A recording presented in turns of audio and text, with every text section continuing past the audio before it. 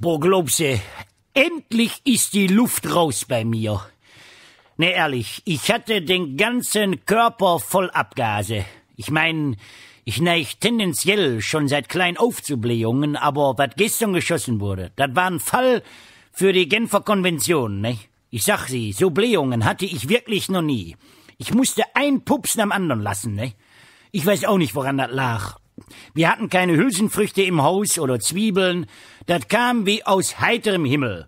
Ich meine, das wäre jetzt nicht weiter schlimm gewesen, weil zu Hause kann man sich ja schon mal ganz gut den ein oder anderen gehen lassen. Ne? Das ist jetzt höchstens für die Frau nicht ganz so angenehm, aber es gibt ja immer noch einen Balkon, wo man sie im Notfall draufschicken kann. Ja, jetzt waren wir aber zu allem Unglück eingeladen gewesen, ne? Bei die Zervons zum Geburtstagskaffee trinken. Ich sag zu meiner Frau, Guste, ich kann da nicht hin.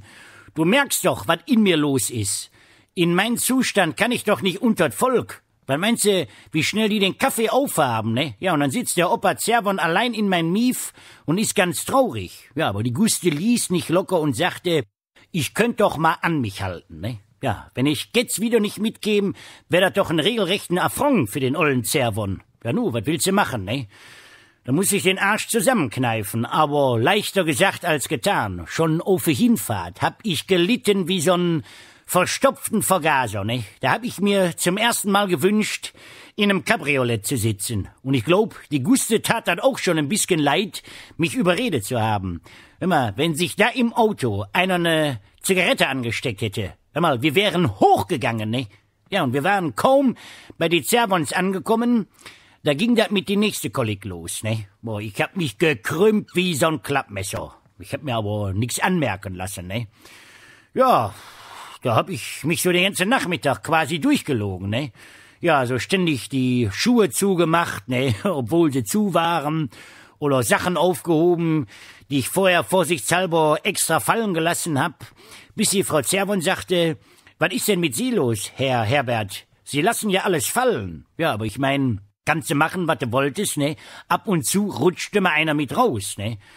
Ja, und es dauerte auch nicht lange, da klagten die ersten Gäste schon über Kopfschmerzen und Übelkeit. Ja, die Zervons hatten keinen Balkon, ne, wo die Opfer mal Asyl finden konnten, ne, und irgendwann wurde die Guste das dann zu peinlich, weil es verbreitete sich auch immer mehr die Meinung, dass ich wohl das faule Ei im Raum war. Ja, da haben wir uns ganz stickum verdünnisiert.